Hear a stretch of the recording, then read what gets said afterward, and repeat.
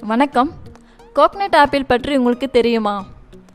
Coconut apple பற்றி தெரிந்து கொண்டால் அதை தேடி கண்டுபிடித்து சாப்பிட தோன்றும்.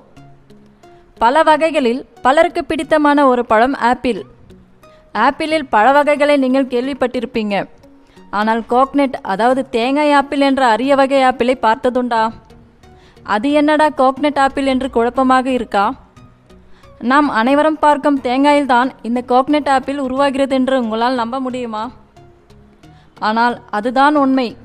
தேங்காயை உடைத்த பின்னர் அதற்கு உள்ளே தேங்காய் பூவை அதாவது பருப்பை நாம் அனைவரும் பார்த்திருப்போம்.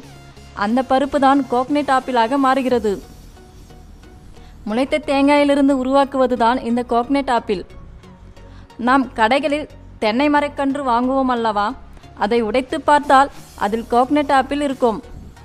இந்த கோக்னட் ஆப்பிளில் இளநீர் தேங்காயை விட அதிக நன்மைகள் இருக்கிறது.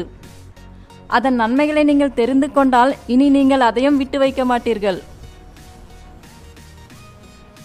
கோக்னட் ஆப்பிளின் பயன்களை பற்றி பார்ப்போம்.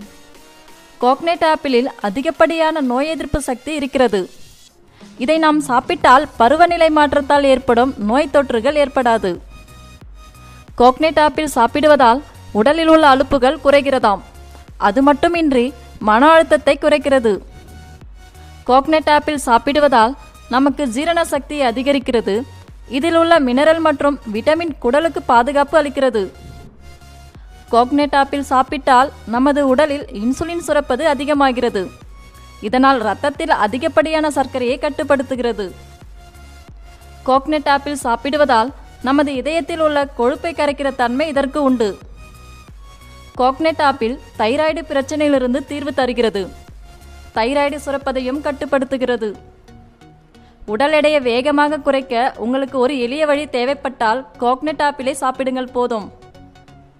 வெயில் காலத்தில் ஏற்படும் சிறுநீரக கோளாறுகள் இந்த கோக்னட் ஆப்பிள் ஒரு நல்ல தீர்வாக விளங்குகிறது.